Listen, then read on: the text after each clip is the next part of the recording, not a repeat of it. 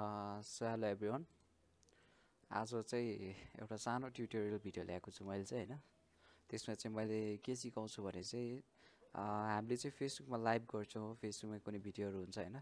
यदि त्यो भिडियोहरूलाई चाहिँ हामीले डाउनलोड गर्नु पऱ्यो भने चाहिँ इनकेस लाइभ गरिसकेपछि चाहिँ होइन त्यो भिडियोहरूलाई चाहिँ तपाईँहरूलाई कन्टेन्टहरूको लागि अनि एडिट गर्नको लागि चाहिन्छ।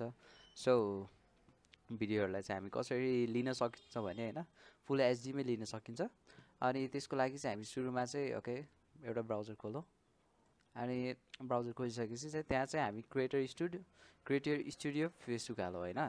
अनि त्यो भएपछि स्टार्ट गरौँ। सो यहाँ हेर्न सकिन्छ।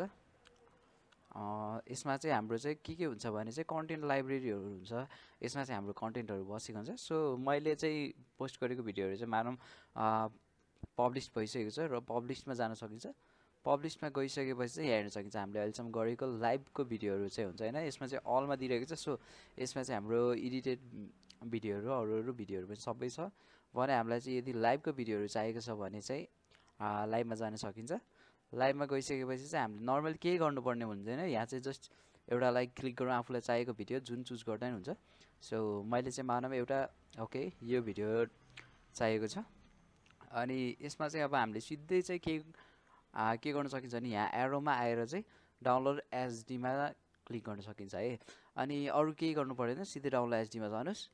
त्यति भइसकेपछि तपाईँको ओके यति भइसकेपछि चाहिँ तपाईँको डाउनलोड हुन्छ। डाउनलोड भएको चाहिँ यहाँ तल लेफ्ट कर्नरमा देख्न सक्नुहुन्छ। अराउन्ड फुल एचडीमा छ सो ओके यति गरेपछि चाहिँ तपाईँहरूले चाहिँ आफ्नो भिडियोहरू चाहिँ डाउनलोड गर्न सक्नुहुन्छ। त्यसपछि चाहिँ तपाईँ एडिट गर्ने काम चाहिँ तपाईँहरूको है। सो के पनि चाहिँदैन धेरै गाह्रो पनि छैन सबैजनालाई सजिलो। यो तरिका मैले पनि हिजो मात्रै सिकेको थिएँ। सो आफूले आएको कुरा सबैलाई सिकाइदियो भन्ने मात्रै।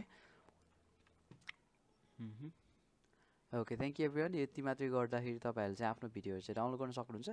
तपाईँको लाइभ मात्रै नभएर सबै पोस्टहरू सबै भिडियोहरू चाहिँ यहाँ आइ आइसकेको हुन्छ होइन? जस्ट तपाईँले स्क्रोल गरेर कुन चाहिँ भिडियो चाहिएको छ त्यो हेर्न सक्नुहुन्छ। अनि यसमा चाहिँ हाम्रो सबै डिटेलहरू दिएको हुन्छ होइन? कतिजनाले हेऱ्यो कतिजनासम्म पुग्यो होइन?